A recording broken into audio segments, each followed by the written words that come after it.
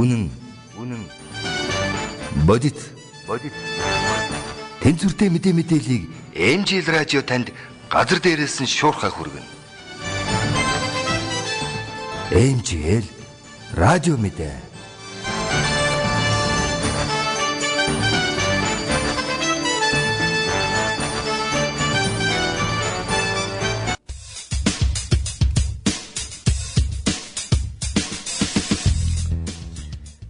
Сайн байцгаана уу? Эмжэл радио таахынд 17 дугаар жарны галзууруулагч хэмээх модон хонжилийн морь цаг буюу 2015 оны 3 дугаар сарын 9-ний өдрийн 12 цагийн мэдээ хүргэхэд бэлэн боллоо. Дотоод мэдээ. Зээлийн сонгон шалгаруулалтыг зарлжээ. Нийслэлийн жижиг дунд үйлдвэрлэлийг хөгжүүлэх сангаас зээлийн сонгон шалгаруулалт зарлжээ. Жижиг дунд бизнес эрхлэгчдийг дэмжих, бүтээгдэхүүн үйлдвэрлэлийг нэмэгдүүлэх, тоног төхөөрөмж технологийн шинжилэл хийхэд нь туслахаас гадна ажлын байр бий болгох чиглэлээр ажилладаг тус сангаас энэ удаа 5 жил хүртэлх хугацаатай 5% хүүтэй доод хэмжээний 30 сая төгрөгийн зээл олгохоор шийдсэн байна.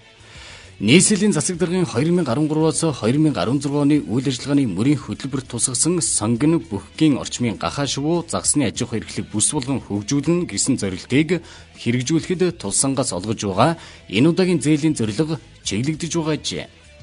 Тиймээс сонгоны бүхэг орчимд гахаа шувуу загсны аж ахуй эрхэлж байгаа иргэн аж ахуй нэгжийн уг зээлд хамрах боломжтой бөгөөд зээлийн төслийн материалыг энэ сарын 5-наас 19-нд Capital банкнд хүлээн авах юм байна.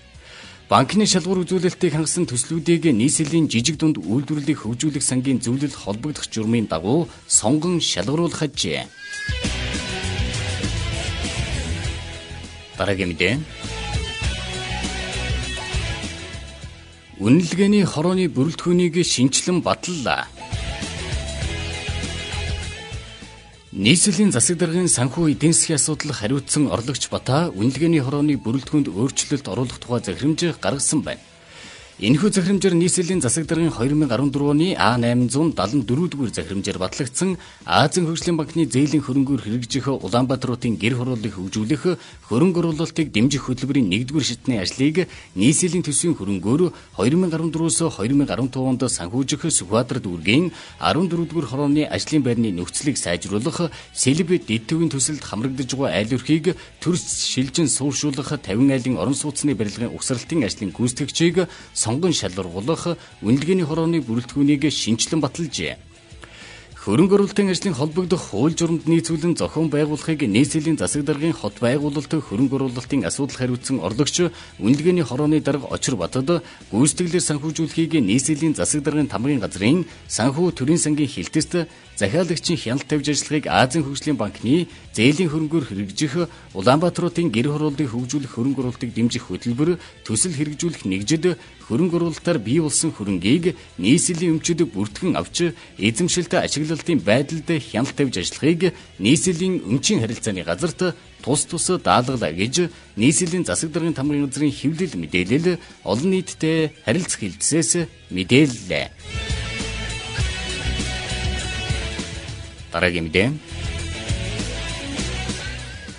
Соёл спорт аялал жуулчлалын яамны байрыг 5 тэрбумаас дуудаж зархаар болсон байна. Ерөнхий сайдын захирамжаар байгуулсан хүүхдийн эмнэлгийн зориулалтаар ашиглах боломжтой барилга байгууламжийг судалж дүгнэлт гаргах үүрэг бүхий ажлын хэсэг Автоимкс компани байр, зам тээврийн яам, соёл спорт аялал жуулчлалын яам, Монсом компани газрын тосны газрын барилга зэрэг байгууламжийг судлан мэрэгжлийн дүгнэлт гаргажээ. Энэхүү дүгнэлтээр соёл спорт аялал жуулчлалын яам буюу засгийн газрын 10 дугаар байрыг эзэмшил газрыг нээлттэй дуудлага худалдаагаар худалдаж төвлөрүүлсэн орлогоор хүүхдийн эмнэлгийн өргөтгөл барих ажлыг шуурхаа зохион байгуулж энэ оны эхний хүлрэлд багтаан ашиглалтанд оруулахаар засгийн газрын хуралдаанаас шийдвэрлсэн байна. Дуудлага худалдаа энэ сарын 18-нд болох бөгөөд 1 ам метрийг нь 6 сая төгрөгөөр үнэлж 5 тэрбум 940 сая төгрөгөөр дуудахаар төлөвлөж байгаа ажээ. Дараагийн мэдээ. Хөдөөгийн улсын хангамжийг сайжруулах ажил удааширч байна. Хөдөөгийн улсын хангамжийг сайжруулах ажил удааширч байна гэж мэрэгжлийн байгууллагаас мэдээллээ. Өнгөрсөн үйл цас багурсноос мал амны усгүй болж байгаа бөгөөд ингэж малын унд ус хүрэлцэхгүй болохоос сэргийлж салбарын сайдын багцад ундны усны их усүрийг нэмэхэд зориулсан төсөв баталдаг байна. Гэтэл улсаас энэ жил ийм хөрөнгө төлөвлөлтгүй орон нутаг шилжүүлснээр хөдөөгийн улсын хангамжийг сайжруулах ажил урагшлахгүй болж байна гэж мэдээлсэн юм.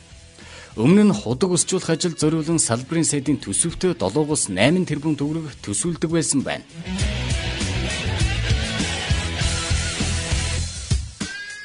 Дараагийн мэдээ. Капитрон банкнд буутай этгээд халтсан талаар мэдээлэгдэжээ.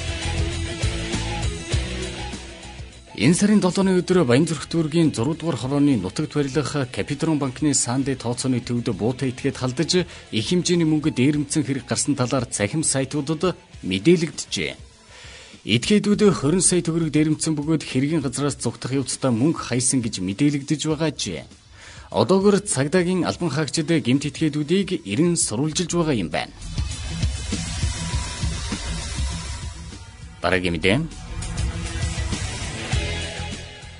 цөөнгүй эмэгтэйчүүдэд ирвжүүлэгдэжээ. Олон улсын эмэгтэйчүүдийн баярын өдрүүдэд цөөнгүй эмэгтэй ирвжүүлэхийн хаалгыг таталсан байна. Өнгөрсөн амралтын өдрөөр Улаанбаатар хотын хэмжээгээр нийтдээ 163 хүн ирвжүүлэгдэжээ. Хуучнаараа төмөр замын ирвжүүлэх буюу эмэгтэйчүүдийн ирвжүүлэх байранд олон эмэгтэй саатуулагдсан байна.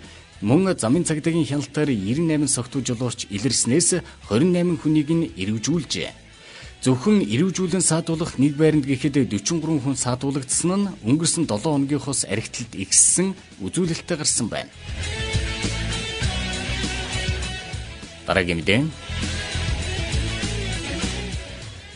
Төрийн албан хаагчдын машиныг хурааж байна.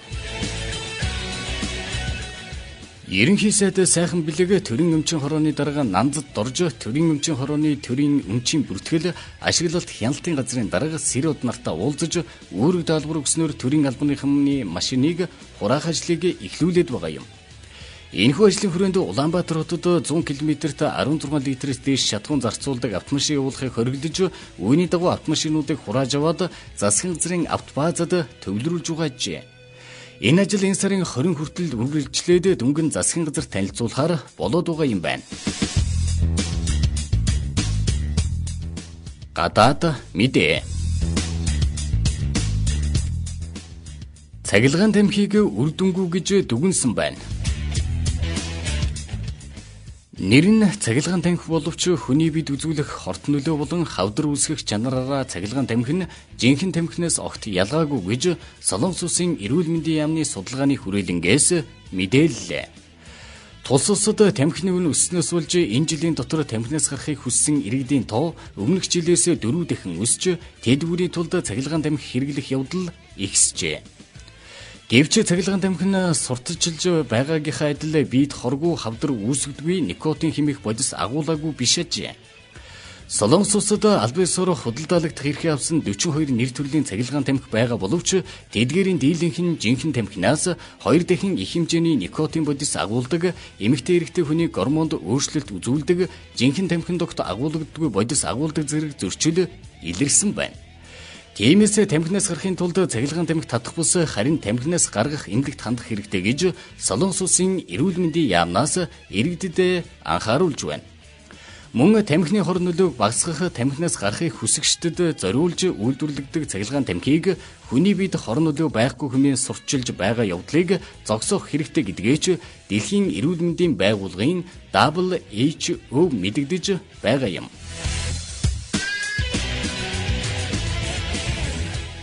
Дараагийн мэдээ. Анхны байлдааны усан онгоцуудыг музейд шилжүүллээ. Солонгос улс нь өөрсдийн гараар бүтээсэн байлдааны 11 ширхэг анхны усан онгоцыг Улаан хотын усан онгоцны музейд шилжүүлэн өгчээ. Өнөө хүртэл тус улсын далайн хилийн хамгаалалтанд ажилласаар ирсэн эдгээр анхны 11 онгоц бүтсэн түүх их уртажээ.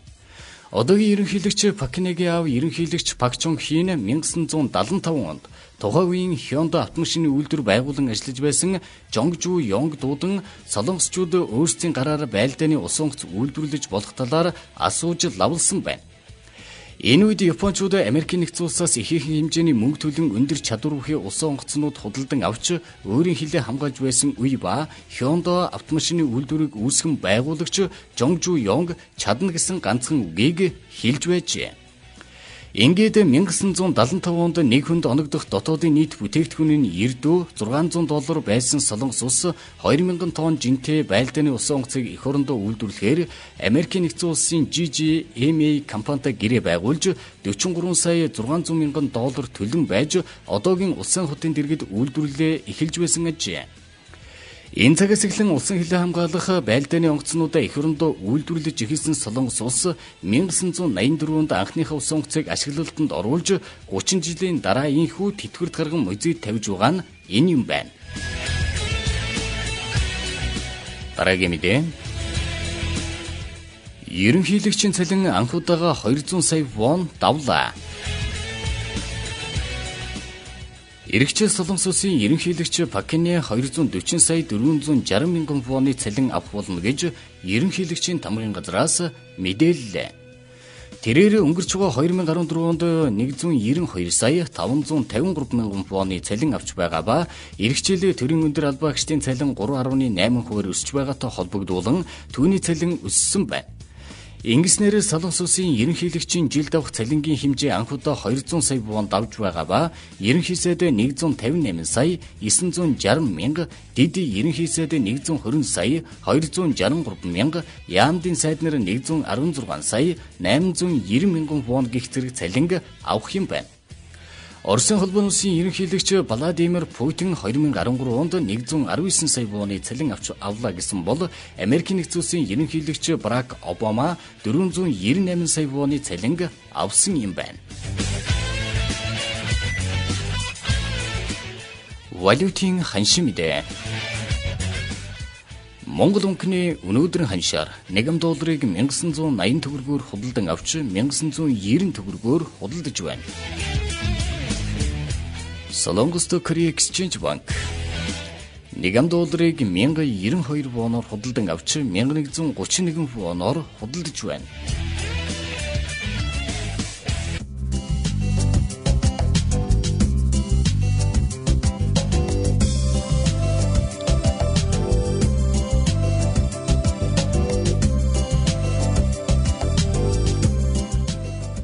цагаагаар мэдээ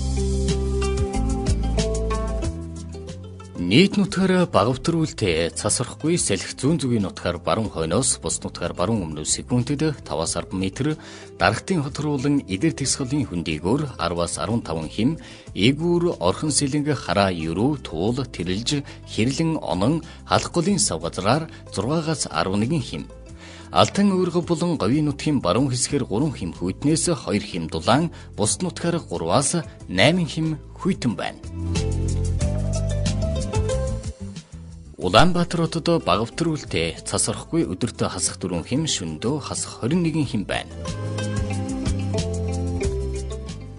Өдрийн наран 7 цаг 24 минутанд мандан 18 цаг 38 минутанд жаргана.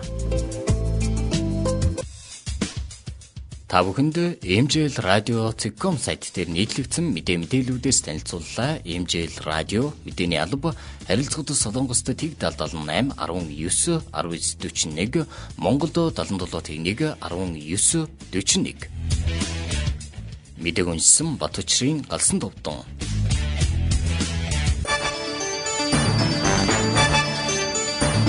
Үнэн үнэн бодит бодит тэнцвэртэй мэдээ мэдээллийг MJL радио танд газар дээрээс нь шуурхаа хүргэнэ.